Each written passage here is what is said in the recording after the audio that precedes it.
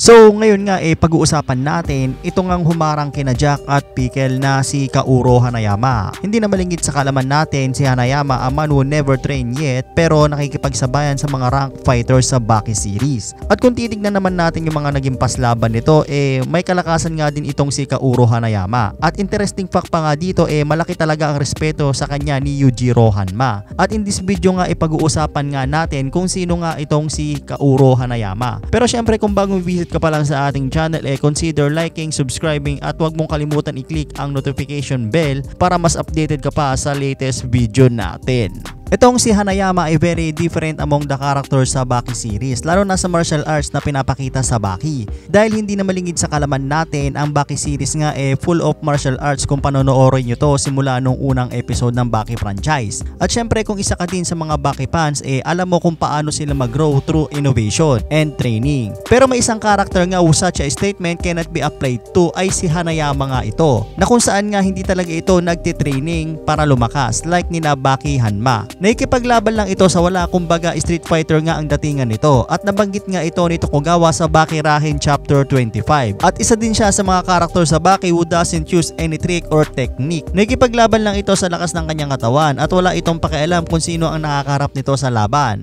Or kahit may mga deadly weapons pa nga ang mga kalaban nito, eh wala siyang inuurungan sa laban. That is the kind of man is Hanayama is. Ang nakikita kong fighting style ni Hanayama ay yung same attack lang na ginagawa nito ng paulit-ulit. Ganyan siya makipaglaban yan. Pero bakit ganun lang ang nakikita nating fighting style kay Hanayama? Alam niyo kung bakit? Dahil may tiwala siya sa kanyang lakas. Dahil kung babalikan natin ang Hanayama clan o pinagmulan nga nitong si Kaoru Hanayama, eh may isang clan sa Japan na kung saan naninirahan ng mapayapa. Nang may isang grupo ng isang assassin na pinagpapatay every member ng Hanayama clan. Nang may meron sanang isang member ang makakaligtas dito at sinubukang makatakas na may dalang malaking kampara sa likod nito. Pero naabutan siya ng mga assassin. Dahil dito habang nakatayo nga ay pinagtataga nga ang lalaki na may dalang malaking bell. At sa loob nga ng malaking bell, merong isang batang lalaki doon na kung saan nakaligtas nga ito at nagpatuloy sa Hanayama clan. At kung mapapansin nyo yung tattoo ni Hanayama ay yung ancestor ng Hanayama clan na may malaking bell. At pinapakita ni Hanayama dito na kahit anong kalaban pa nga nito eh hindi nito inuurungan katulad ng kanyang ancestor. At sa kalaunan nga ay eh, naging leader nga ito ng Yakuza. Dahil nakatatak na sa puso't isipan ni Hanayama yung ginawa ng kanyang ancestor na kahit na pinag-aatake ito ay nakuha pa rin itong maging matatag. At ginagawa pa rin nga ito ni Hanayama hanggang sa ngayon dahil naging inspirasyon nga niya ito. Pero ngayon Hanayama in a lot of ways is the opposite of Baki. Dahil hindi na malingid sa kalaman natin Baki his entire life training to get strong enough to become worthy of his father respect. Pero itong si Hanayama simula sinilang hindi na niya ninais lumakas like ng goal ni Baki Hanma. He didn't wish for more because he already had enough to survive. Napakasimpleng tao lang talaga nitong si Hanayama kung tutusin lang. Wala naman siyang ibang dream na maging malakas kontento na siya what he already already has. He doesn't need to wish to be stronger dahil may tiwala nga ito sa kanyang sarili. Like ni Baki Hanma na need talaga lumakas para masurpass nga itong tatay nitong si Yujiro Hanma. Pero kung babalikan natin yung initial fight between Hanayama and Baki, may kita natin sa dalawa yung respeto nila sa pakikipaglaban, who are both at the same time polar opposite. At parehas sila ni Baki na nagmula sa powerful families line. At kung babalikan natin yung mga naging experience nilang dalawa sa pakikipaglaban, at itong si Baki ay nag-fails to defeat 100 men at 37 lang ang tinalo nito out of 100 men defense. While si Hanayama naman eh defeated 50 arms men. Pero aminado naman tayo na si Baki ang first loss nito sa laban. Pero nire-respect naman natin yung pagkatalo ni Hanayama kay Baki. Pero in the other fight ni Hanayama, he doesn't beat his opponent. Talagang nilulumpo niya nga ito kahit na nakahiga pa ito o hindi na kayang lumaban. He show no mercy talaga. At pinagkukumpara nga nila ito kay Yujiro Hanma dahil sa no mercy nito sa pakikipaglaban. Dahil hindi na malingid sa kalaman natin si Yujiro Hanma din kapag nakikipaglaban eh talagang pinapatay nito. Kaya marami talagang Baki fans ang pinagkukumpara nga itong si Hanayama kay Yujiro Hanma in terms sa pag-uugali. At yung pinaka-special ability nga nitong si Hanayama ay yung pag-grip nito sa nakakalaban nito like nung naging laban nila ni Baki. Pero sa kalaunan nga ay naging matalik silang magkaibigan ni Baki Hanma. At pinayuhan pa nga ni Hanayama si Baki na ipurso nga nito yung goal nito na matalo si Yujiro Hanma dahil sa incident na nangyari sa pagkamatay ng ina ni Baki. At dito nga ay nakita natin na na-earn ni Hanayama ang respect sa kanya ni Baki Hanma. Kaya nung sa Baki sa of Ogre, pinotektahan ni Hanayama si Baki from spec na kung saan gustong gusto ni spec na bugbugin nga itong si Baki that time. At nabanggit ko nga kanina bakit na-earn ni Hanayama yung respect nito kay Yujiro dahil hindi hindi na malingid sa kalaman natin ang mga nire-respeto lang ni Yujiro sa Bakeverse ay yung nakikita nitong malalakas. So meaning mga preno, uh, malakas na ang tingin ni Yujiro kay Hanayama. At nabanggit nga ni Tokugawa na kapag naririnig nga daw ni Yujiro Hanma yung name na Kauro Hanayama eh tatabi ito and give him respect talaga kay Hanayama. Pero yung pinaka-interesting fact nga sa series yung nakaharap nga ni Hanayama yung monster of the past na si Musashi Miyamoto. 妙なソードマン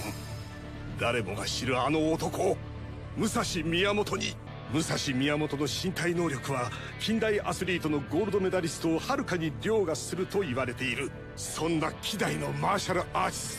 At hindi na malingid sa kalaman natin na legendary samurai nga ito ng Japan. Kung hindi nyo pa napapanood kung sino nga itong si Miyamoto Musashi, eh ililink ko na lang sa baba ng video na to. Anyways, mabalik tayo no, uh, hindi naman aware si Hanayama kay Miyamoto since hindi pa nga niya ito nakikita sa personal in that time. At sinabi nga ng isang lalaki kay Hanayama na isa nga itong legendary samurai. Pero syempre Hanayama yan eh, wala talagang pakialam kung sino nga makakaharap nito sa laban. Even may deadly weapon pa nga ito. Nung nagkita na nga sila ng legendary samurai na si Emoto, eh nagulat din si Miyamoto sa pinapakita ni Hanayama sa kanya. Katulad ng stand position ni Hanayama dito. At yung fighting style nga ni Hanayama yung paulit-ulit na pag-attack, yun lang naman yung ginagamit niya kay Miyamoto. Kumbaga brute strength lang talaga yung ginagamit niya dito. Pero syempre may deadly weapon nga itong si Miyamoto. May time pa nga na nasuntok nito sa mukha si Miyamoto eh hinarang lang ni Miyamoto yung kanyang katana sa kamao ni Hanayama. Pero hindi ininda ni Hanayama yung sakit na natamo nito sa katana. Instead nagpatuloy pa nga ito sa pag-atake kay Miyamoto. Pero bago ang madugong labanan, pinayaho na ito ni Kisaki na bodyguard ni Hanayama na wag nga daw labanan itong si Miyamoto at baka mapahamak lang ito dahil gumagamit nga ito ng katana. At napaka-skill nga nito using katana. Pero para natuwa pa nga si Hanayama na malakas nga daw itong si Miyamoto dahil okay lang daw sa kanya yon. At sa naging laban nga nila, he show no respect or reverence to Miyamoto dahil pinangahawakan nga ni Hanayama yung kanyang mga ancestor na matatag even kahit anong deadly weapons pa yan.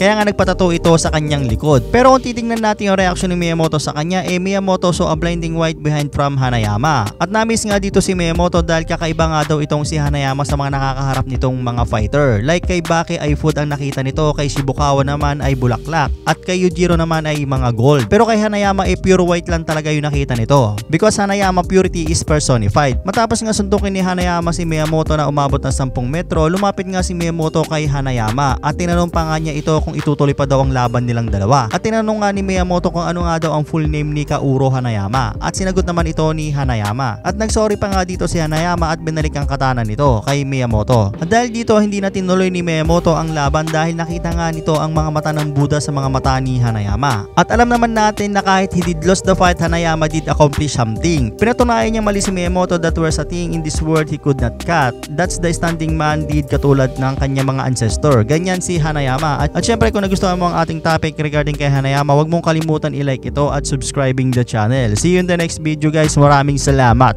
Peace!